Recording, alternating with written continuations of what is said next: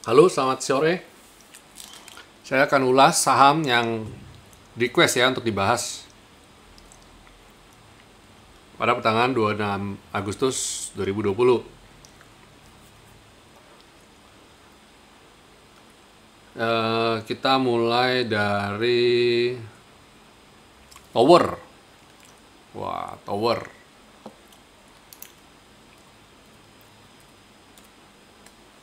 Wah, Tower udah breakdown support. Nah, yang kayak gini harus cut loss. Analisa kita jelas ya. Saya sudah gambar garis ini. Kalau jebol ini cut loss. Mending cut loss sekarang daripada cut lossnya di sini ya. Apa daripada sini baru cut loss. Tadi saya sudah ngomong mengenai cut loss di video rekomendasi ya. Nah, yang kayak gini cut loss aja udah selesai. Nggak usah pikir panjang. TPIA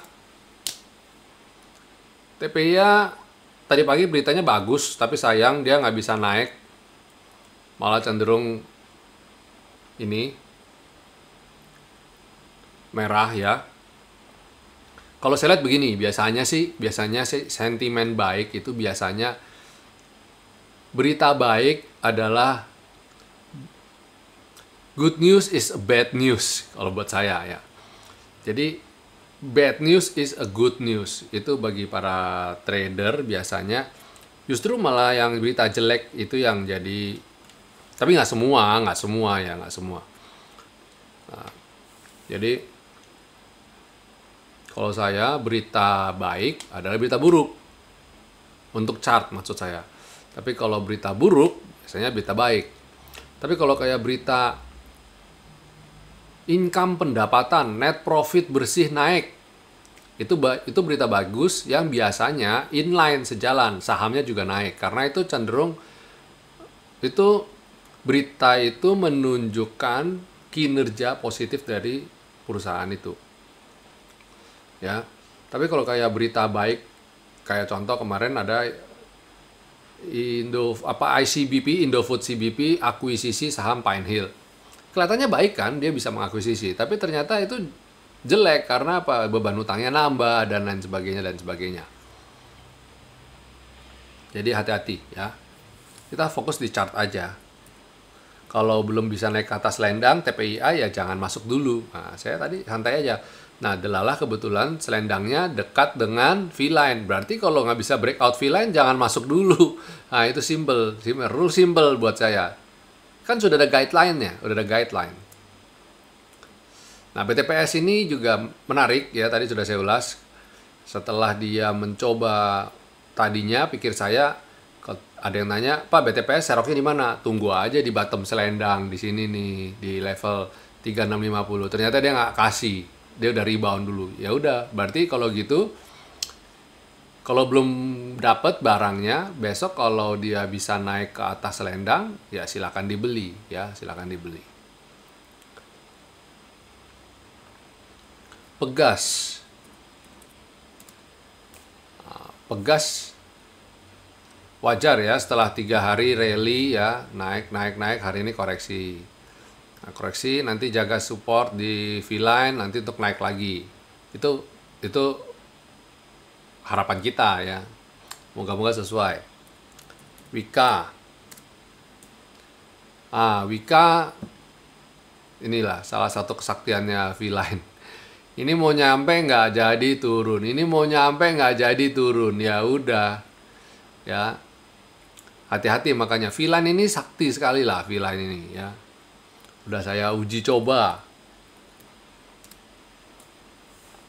nah ini BRPT juga masih di sideways di bawah ada teman bilang pak mumpung di bawah 900 biasanya saya beli supaya nanti jual di atas 900an boleh nggak? Boleh banget. Kalau sudah ngerti pergerakannya silakan. Nah ini kalau besok spek buy, beli. Nanti naik, jual. Cari untung tipis 2 persenan aja pak, 2 persenan. Tapi saya sama BRPT ini 2 persen, tapi udah berkali-kali gitu. Jadi udah begitu-begitu juga udah 8 persen, 9 persenan. Nah ya oke, okay. silakan. Friend. Nah, Friend ini setelah beberapa hari ARB, hari ini boom dia rebound. Kalau saya lihat dia belum belum confirm dan saya tidak recommended untuk yang model-model begini ya. Saya tidak recommended. Saya lebih suka yang pasti-pasti saja. Besok friend ini saya akan masuk kalau hanya jika besok candlenya biru tua lagi dan lebih aman sebenarnya kalau dia udah balik ke atas V-line. Tapi besok spek buy dulu. Alokasi maksimum 10% ya, alokasi dana maksimum 10%. Kalau bisa di atas V-line, alokasinya saya tambah jadi 30%. Ya, itu friend. Kalau Bapak Ibu mau masuk silakan. Adaro, tapi kalau saya lebih suka cari yang yang nyaman ya, hati nyaman. Adaro masih sideways ya, ini ini skip aja lah, ini sideways. Hindari aja saham yang begini. S Hardware, nah S Hardware kemarin kita sempat call dua hari yang lalu ya. Eh dua hari apa kemarin ya? Kemarin dan hari ini masih masih di situ, situ-situ aja, masih sideways. Ya setidaknya kita nggak rugi, setidaknya nggak rugi besar. Itu itu rekomendasi kita. Kalau reko, kita rekomendasi kita jarang lah sampai sampai ke sampai ke blondrot maksudnya sampai dibanting ya jarang sekali lah. Setidaknya dua tiga hari kita sabar dua tiga hari baru jalan. Dua tiga hari jalan itu umum rata-rata lah. Mamanya saya hari Senin atau Selasa rekomendasi nanti baru naik biasanya hari Kamis atau Jumat itu itu itu oke okay, itu oke okay banget biasa ya Lalu Citra. Citra sempat tadi pagi hijau lalu koreksi. Sehat menurut saya ini masih koreksi sehat ya. Targetnya masih bisa naik. Kalau lihat trennya kemungkinan besok atau lusa ya. Besok Kamis dan lusa Jumat ya. Kita lihat lah dua hari ke depan ini bagaimana untuk Citra. Sekalian kalau bahas Citra saya ungkit sedikit Sumarekon. Ini dua ini adalah kemarin primadona kita. Wah bisa begitu nih Sumarekon nih. Koreksi persis di atas di 635 kemarin saya sempat kode tuh pokoknya hati-hati dengan 635 ya. Nah ternyata angka 635 jadi angka keramatnya ini nih Sumarekon nanti kita lihat juga besok dua hari ini ya. Bisa breakout apa enggak? Kalau nggak bisa breakout ya jual aja. Cari yang lain aja cari yang lain. Cari saham yang lain yang lagi trending. Pakuwon pun sama koreksi. Properti ini kompak koreksi semua ya. ISAT, coba kita lihat ISAT. ISAT tadi sudah sempat saya ulas. Kayaknya di 2590 Uh, breakout 2590 bagus baru bisa bagus nih ya. Kalau mau sekarang spek buy boleh nggak? Boleh jualnya di areal 2550 2500 uh, eh sorry kok 2550 2580 2590 itu areal jualnya ya. Silakan. Excel. Excel kalau nggak salah tadi kurang begitu bagus. Ya, dia masih di bawah selendang dan masalahnya, masalahnya adalah selendangnya masih di bawah V-line. V-line dan dia posisinya habis dari naik dan dia turun koreksi. Nah, ini yang saya saya kurang suka. Habis naik lalu dia turun koreksi. Nah, ini saya kurang suka ya. Saya lebih suka kalau dia posisi sudah naik lagi ke atas buat amannya. Jadi sementara Excel lebih untuk trading jangka pendek saja ya, trading jangka pendek. Indi. Indi, wah candlenya jelek banget nih, bikin galau. Kalau saya lihat sih trennya belum selesai. Jadi buat Bapak Ibu, kalau kayak gini peluang untuk buy on weakness ya. Peluang untuk buy on weakness. Masih oke. Okay. Indi, Indi masih oke okay. ya, silakan. Silakan diatur napasnya ya untuk untuk trading kayak begini itu kudu kudu atur napas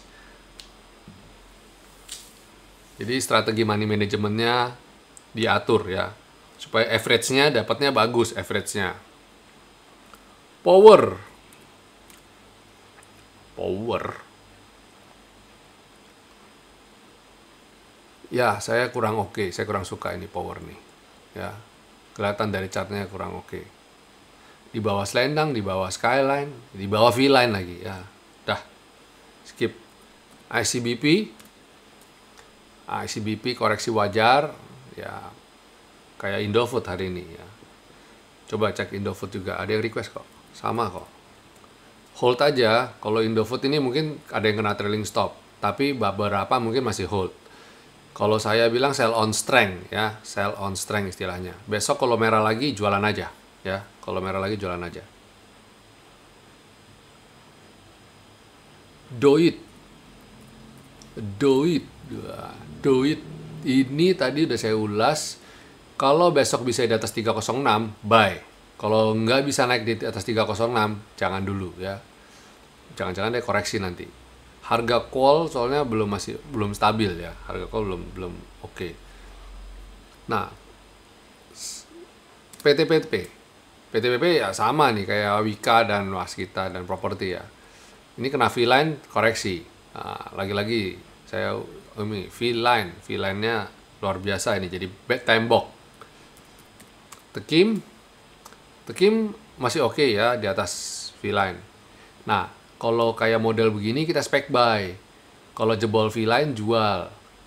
Cut loss aja. Tapi kalau sekarang kita ya icip-icip beli ya. Moga-moga bisa dapat tendangan naik. Kalau ngomong tekim, sekalian saya ulas INKP. Bonus nih.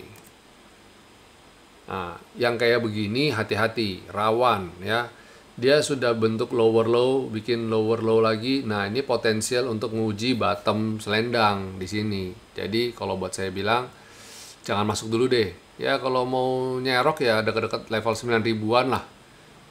Ya, INKP belum belum oke okay, ya. Serok sekarang nangkap bisa jatuh, masih cukup riskan.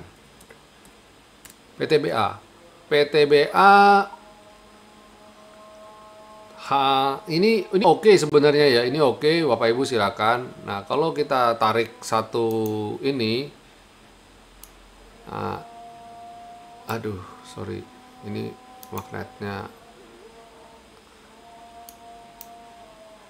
Ini kalau saya tarik ini bukan bukan bukan untuk jadi ini ya, tapi ini dia dia kayak sebenarnya membentuk suatu pola yang bagus biasanya nih ya. Double bottom nih. Satu, dua, Nah, terus dia mau lagi mau menuju ini. Ini kalau dia bisa breakout, ini PTBA bagus nih ya. Ini kalau kita abaikan yang ini ya, dia potensial untuk untuk besarnya reboundnya besar ya. PTBA malah saya bilang boleh dicermati nih spek buy yang punya uang dingin nganggur mau beli boleh ya. Nah, kalau saham-saham kayak PTBA, BRI, Unilever, itu oke okay, ya untuk untuk nabung ya. Jangan saham yang abal-abal yang hmm, bisa masuk nggak bisa keluar, repot nanti ya. Sido, nah, Sido juga oke okay, ya. Ini ini jangan-jangan sentimen gara-gara mall di Semarang rame banget. Rasanya sih enggak lah. Nah, tapi kalau saya lihat saya kurang suka dengan pergerakan candlenya yang modelnya kayak gini ya, needles ya, bikin jarum, bikin shadow. Nah, saya hindarin aja. Transaksi juga kecil ya. Saya kasih bonus Mayora. Bukan untuk beli ya, tapi kita sempat ulas beberapa waktu kemarin dan ini cukup menarik untuk diperhatikan.